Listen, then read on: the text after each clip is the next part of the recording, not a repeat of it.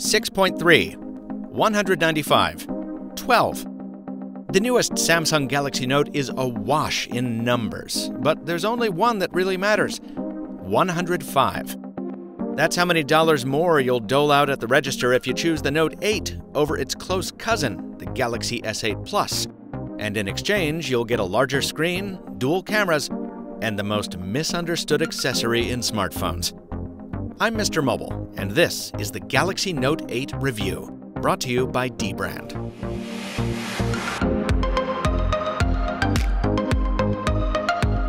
You know what they say about the pen being mightier, so let's kick things off with that.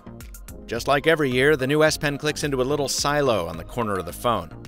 Ask a Note owner to demonstrate the S Pen, and they'll probably start by showing you how quick it is to take a screen off memo. Or they'll bust out the brushes, colors, and textures inside Samsung Notes, which packs enough versatility to let you kick out some pretty detailed doodles. If they have a Note 8, they may whip up a live memo, which lets you share brief animated sketches with friends. It's all very cool and cute for an elevator pitch, but the people who criticize the S Pen as superfluous do have a point. For most folks, once the honeymoon phase wears off, the doodling dies down. Writing on a screen this size with a pen this size just isn't comfortable enough to want to do for a long time. But here's the thing when I carry a note, I use the S Pen every day just not for artwork. A good example is signing PDFs. You see, the note always debuts at the time of year my apartment lease comes up for renewal, so every year I end up signing and sending it from the phone. When I need to memorize a script or look something up in Kindle, the S Pen is a great highlighter. And it's a smart one, too. It can translate text into different languages on the fly.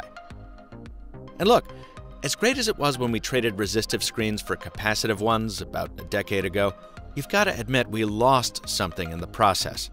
Your big, blunt fingertip will never be as precise as the point of a pen, and being able to hit those small touch targets, or scroll a list with a hover, or click that tiny little subscribe button on a YouTube channel. it's all much easier with a stylus. I've been saying this for years. The S Pen is as indispensable to the Galaxy Note as a mouse is to a computer. Let's talk about the Note 8's other big upgrade that big honkin' camera module. How you feel about this thing is going to depend on what kind of pictures you take. Do you snap a lot of long distance shots of tall buildings or singers on stage? Do you zoom in on strange pigeon breeds you've never seen before?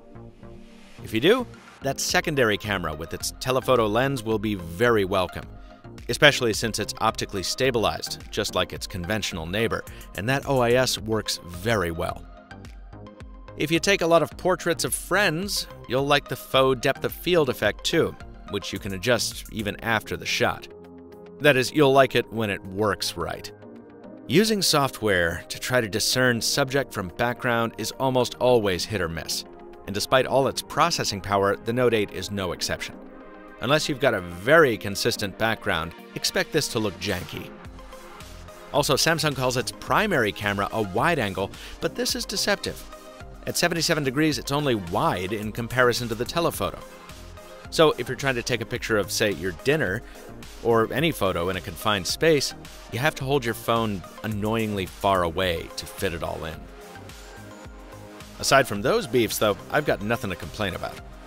This is a phone you can fire up at sunrise and use in basically every lighting condition you're likely to find through the course of the day, including pouring rain because the phone's water resistant. And for most folks, it's almost never going to let you down. It brings a great combination of speed, reliability, and versatility. That goes for the selfie shooter too, though its beauty mode does tend to go heavy on the virtual bronzer. Oh yeah, that's a transfer complete. That's an Alex face. Heard that drop. What you think about that? It's a good thing because I'm curious. Like, I would want to know why that happened. Yeah. Like, I like that other people. Yeah, man.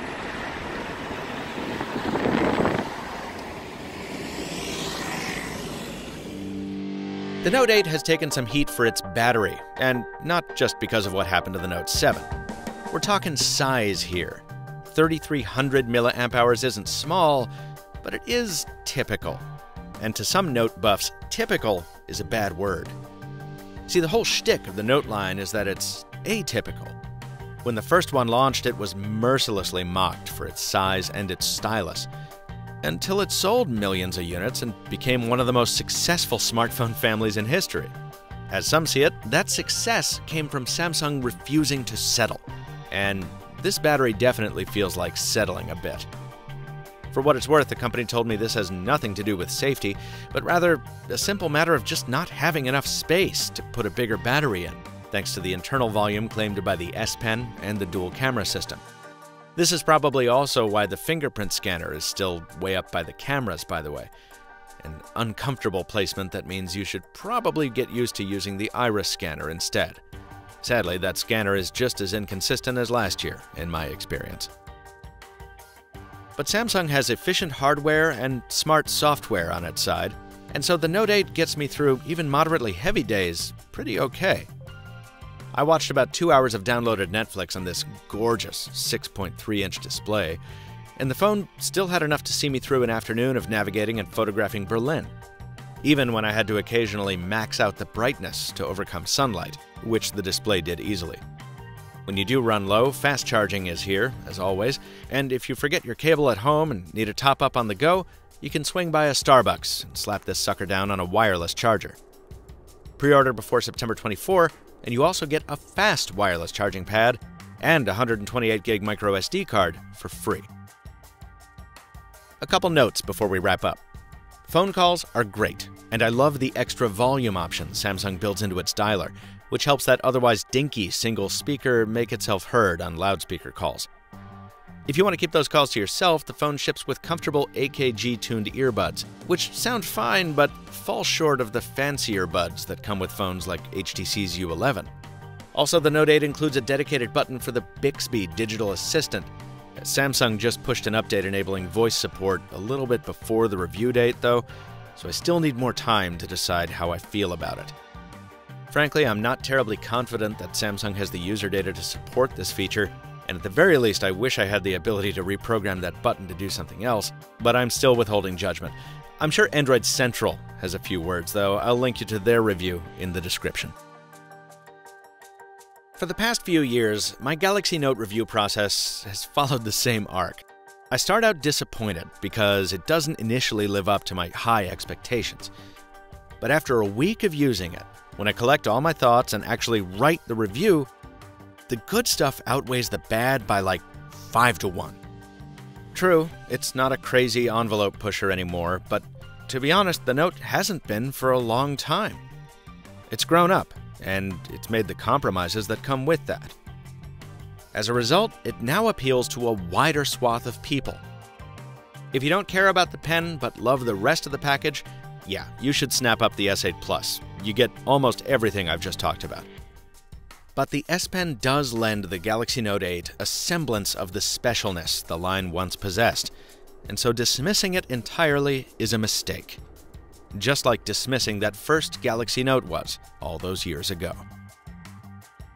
In the US, the Note 8 is already shipping as this video goes to the server, and it comes in Orchid Gray and Midnight Black, the latter of which is a smudge fest of spectacular proportions. If it turns out to be as fragile as its Galaxy S cousins have turned out to be, you'll want to fight the scratches and the smudges with a premium vinyl skin from dbrand. Choose from 25 different finishes to create a custom color cocktail unique to your Note 8. Get yours at the link in the description and follow the Mr. Mobile on Twitter and Facebook, where I'll be taking your questions about the Note 8 that I didn't get to here. Until next time, thanks for watching, and stay mobile, my friends.